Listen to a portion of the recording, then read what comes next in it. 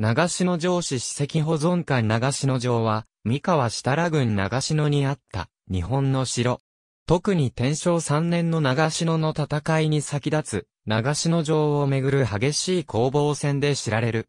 現在は国の史跡に指定され、城跡として整備されている。この地域の交通の要衝の地にあった。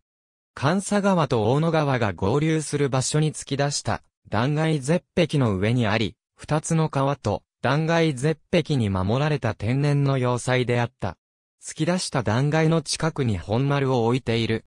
長篠の戦いの頃の構造について言うと、本丸のすぐ北側には堀が掘られ、その北側に二の丸、そのすぐ北側にまた堀が掘られていた。二の丸外側に、三の丸、男女グルなどがあり、本丸の西側に服部グルがあり、柳生グルなども築かれ、上域を北側を囲むように木作が作られていた。川と断崖のおかげで南と東西の守りは硬かったが、北側は平地が広がっておりそのままでは守りが弱かったので、そちらにはしっかりとした堀が掘られていたのである。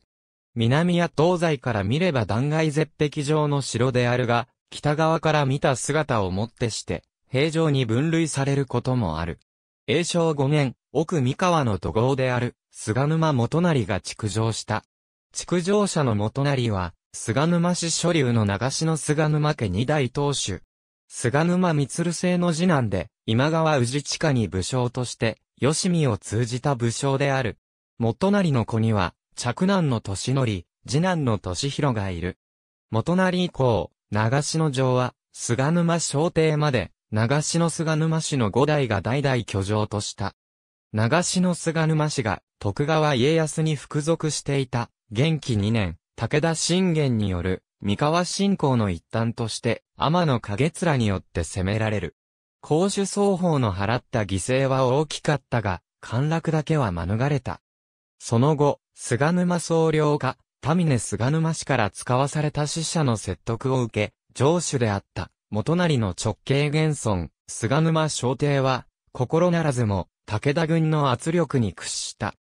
元気4年、武田家の当主であった、武田信玄の病が悪化したことにより、前年末から続いていた武田軍の正常作戦が春には切り上げられ、武田軍は本国へ撤退。その途中で信玄は死去。その感激に、徳川家康によって攻められる。上主、小帝は、天正元年8月には海上退去、城に帰り咲くことはなかった。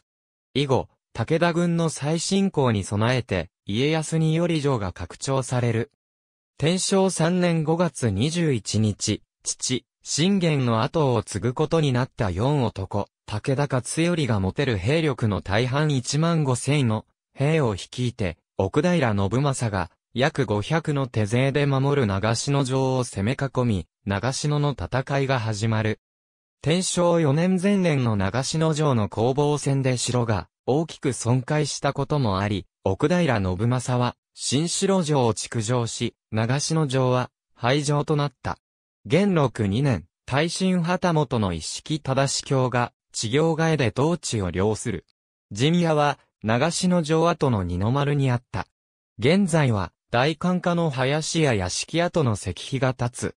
1929年、当時の史跡名称天然記念物保存法により、城石一帯が国の史跡に指定された。その後、帯来る跡には、新城市立長篠城市史跡保存館が建設され、長篠の戦いの理解を助ける展示がされるようになった。2006年4月6日、日本百名城に選定された。本丸付近は多くの遺構が残っている。特に大規模な空堀と土塁が残っており、天正元年に徳川家康が長篠城を奪取した後に大規模な修築を行った結果であると考えられている。また、飯田線のために、本丸と寸断されてしまったが、本丸南には、柳生車があり、ここの遺構は、よく残っている。しかし一方で、城の北側のほとんどは埋没、破壊されている。現在は、二十歳や宅地などになっているが、一部に、石垣の遺構を残している。ありがとうございます。